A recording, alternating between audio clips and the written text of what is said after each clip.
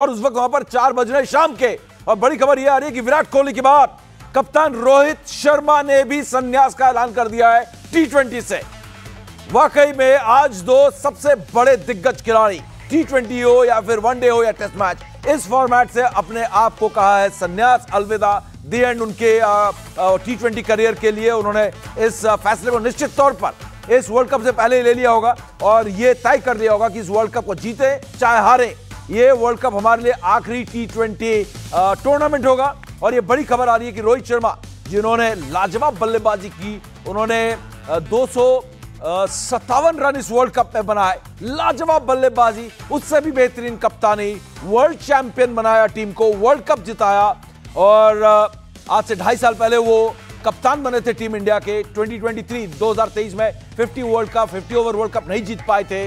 और इसके अलावा 2022 वर्ल्ड कप नहीं जीत पाए थे, लेकिन एशिया कप जीते और अब से करीब तीन मिनट पहले रोहित शर्मा ने कहा है कि अलविदा टी और टी में वो नहीं दिखेंगे। वाकई में, जैसा कि फैंस कह रहे थे, Virat Kohli, Rohit Sharma we all love you हम सब आपसे इतना प्यार करते हैं। निश्चित तौर पर बहुत मिस करेंगे, लेकिन एक बात तो है कि रोहित शर्मा और विराट कोहली ने अगले जनरेशन को इतनी प्रेरणा और इतनी इंस्पिरेशन दी है कि अगली जनरेशन अगला युग जो है, अगली पीढ़ी जो है, वो तैयार है।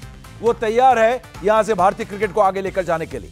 उसके बारे में बात करेंगे, लेकिन रोहित शर्मा, जिन्होंने विराट कोहली के बाद इस बात का ऐलान किया कि वो भी अब अंतर्राष्ट्रीय क्रिकेट से, अंतर्राष्ट्रीय टी ट्वेंटी से संन्यास का फैसला कर रहे हैं। ये एक झटका भी है, लेकिन इतना लंबा समय उन्होंने खेला और इतना ज़बरदस्त उनका प्रदर्शन रहा है कि कहीं ना कहीं जो है हम बहुत जश्न मना सकते हैं उनके अचीवमेंट्स के।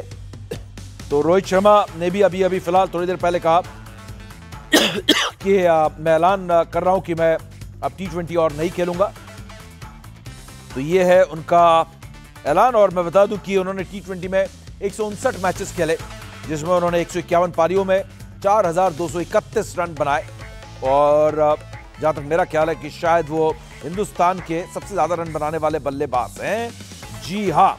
और विराट कोहली ने इकतालीस करीब साठ सत्तर रन जो है रोहित शर्मा ने ज़्यादा बनाए और यहाँ पर दोनों बड़े दिग्गज खिलाड़ी आज रिटायरमेंट की घोषणा कर चुके हैं यहाँ पर। तो इसका मतलब ये है कि 125 मैचेस खेलने वाले विराट कोहली